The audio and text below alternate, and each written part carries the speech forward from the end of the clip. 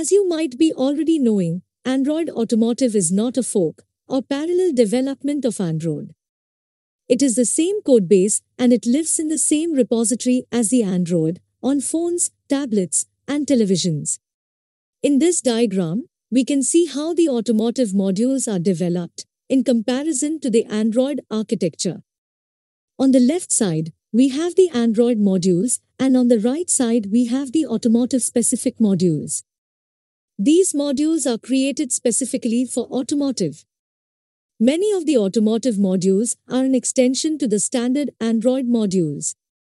For example, the System UI is extended from the mobile version of System UI. The automotive audio module is built on top of the core Android audio stack. As displayed in this diagram, at the top of the stack, there are the system apps, OEM apps, and third-party apps. The app communicates with the services through the Android Framework API in case of standard Android. In the case of automotive apps, the car API is used to communicate with the car service. The car API communicates with the car service over the binder IPC. This is because car API and car service are in different processes. By default, Android does not allow one process to communicate directly with another process. Binder IPC is the interprocess communication mechanism used in Android. As we can see, the Android system services and the car service are on the same stack. The car service communicates with the Android system services for its functioning.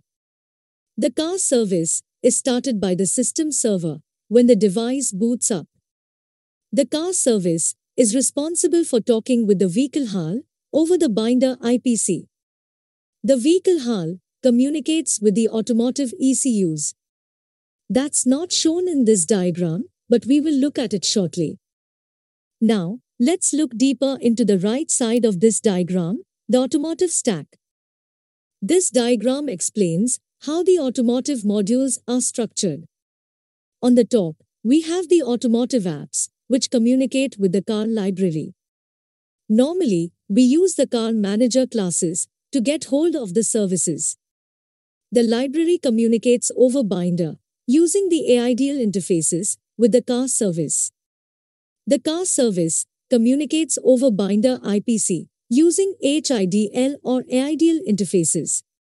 HIDL is being replaced by the AIDL interface, so in the future, all the HIDL files will get replaced by AIDL. The vehicle HAL talks with the vehicle ECUs over the CAN bus or any other vehicle bus. A vehicle bus is nothing but a specialized internal communications network that interconnects components inside a vehicle. Now, let's look at the responsibilities of each of these components in the automotive stack. Let's start from the bottom. Vehicle ECU talks with the CAN bus or vehicle bus. For example, to get the speed of the vehicle, it would talk with the responsible ECU. This data gets propagated to vehicle HAL as vehicle properties. The vehicle HAL stores information as vehicle properties, which are extracted from the ECUs. Almost all the properties are linked to the signals which are received from the ECUs. Car service is a system service started by the system server during Android boot up. Car service can persist the state and provide APIs to the car library. It works as a mediator between vehicle HAL and the car library. The car service is in fact a collection of services. If we look at the iCar implementation, we could find all these services. We will discuss in detail how it is started when we do the code walkthrough. Car Library exposes the APIs to the automotive apps. Car Library communicates with the car service over the binder IPC using the AIDL interface. And finally, at the top we have the automotive apps. This could be system apps, OEM apps or even third-party apps. These apps utilize the APIs exposed by the car library.